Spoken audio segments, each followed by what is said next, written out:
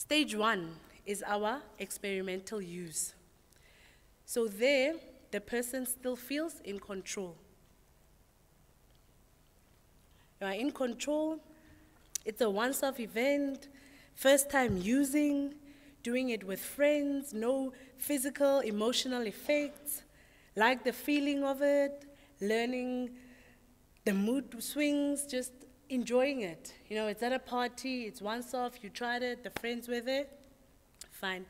And in terms of levels of interventions, I'll speak about later, this is where we are introducing prevention services because prevention, we are teaching about the harmful effects of substances.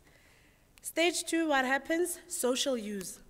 It's occasional use, slowly progressing. In control of the use still. Remember now you are using with friends, you're not using alone. But I liked what Mesupagaz said.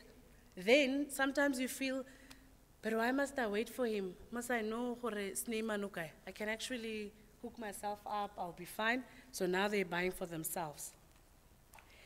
Experimentation with the different drugs, social patterns changes, increase in using um, with friends, go to places that promote using.